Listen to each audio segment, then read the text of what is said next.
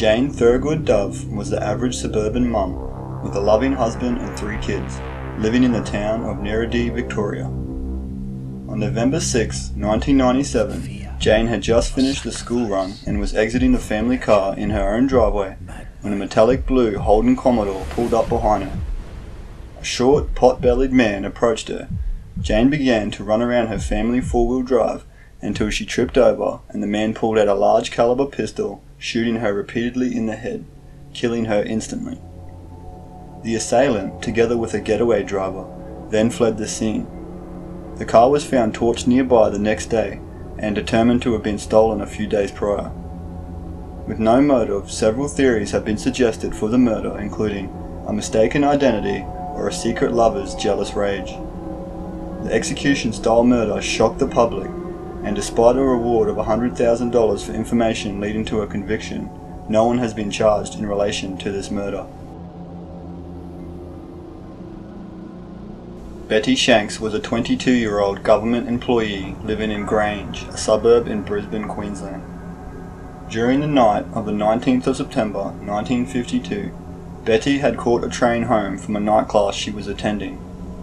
At approximately 9.32 pm, it is thought she exited the train and began walking home with a male acquaintance, who then violently beat and choked her to death in a brutal attack. Several witnesses heard a woman scream but being a very dark night with no moon, could not see anyone.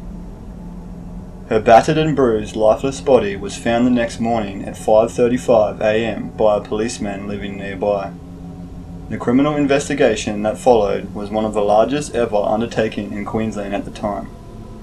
Despite several clues including a bloody handprint at the scene and a type of boot polish all over her body from repeated kicks to her face and torso, there has been no convictions relating to the violent murder. As of 2010, a $50,000 reward is still current.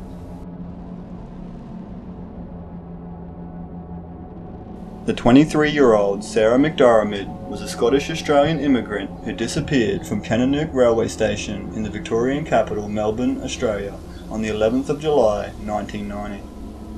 Although no trace of her body has ever been found, it is highly certain that she was murdered. On the night of her disappearance, Sarah had been playing tennis with some friends, and after several sets, they had a few drinks, then proceeded home and walked to the Richmond railway station and caught the 9.20 train to Caulfield. Upon arrival, she transferred to the 9.39 Frankston train. Sarah then got off at Kananook station at 10.20 pm, walking to her car in the station car park. She has never been seen since. Investigating police found bloodstains beside her abandoned car with drag marks leading into nearby bushes. A few witnesses also reported hearing a woman shouting, Give me back my keys.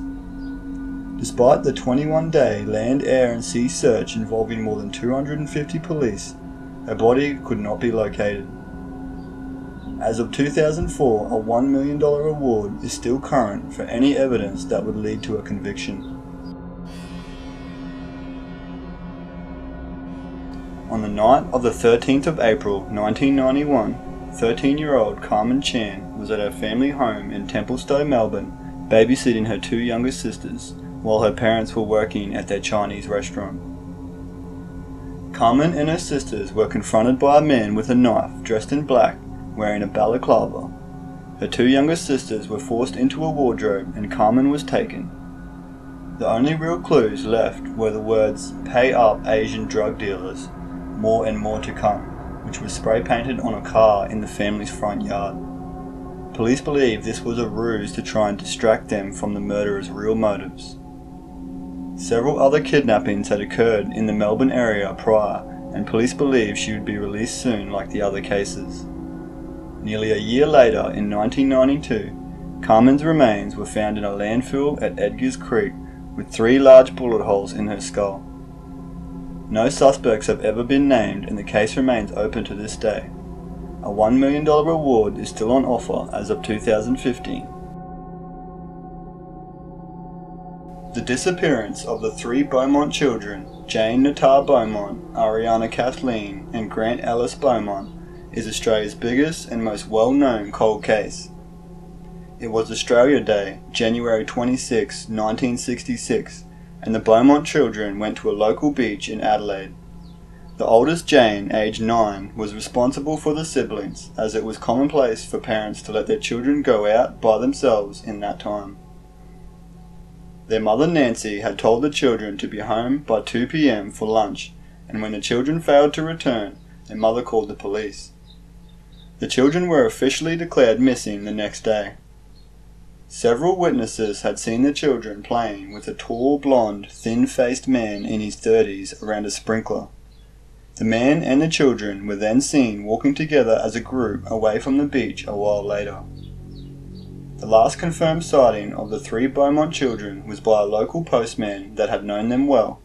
He said around 3 pm he had stopped to talk to them as they were walking back towards their home. The children were never seen again. The case attracted widespread attention in Australia and is widely credited with causing a change in many people's lifestyles. The investigation remains open to this day, with a $1 million reward offered to anyone with information that might crack the case.